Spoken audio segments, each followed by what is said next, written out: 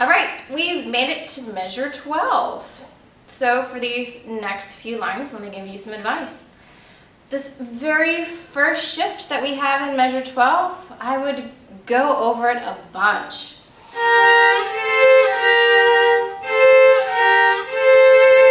I want to make sure that I don't have a slurpy slide.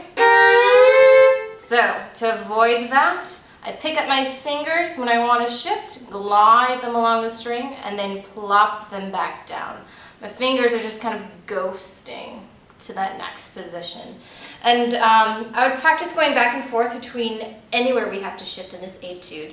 Um, there aren't that many places, luckily. This etude is mostly in first position, with some extended fourth fingers and just a few tiny shifts to second position and third position. But definitely go over them, back and forth.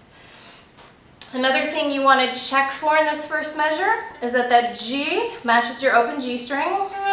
And then that next third, that A, matches your A string.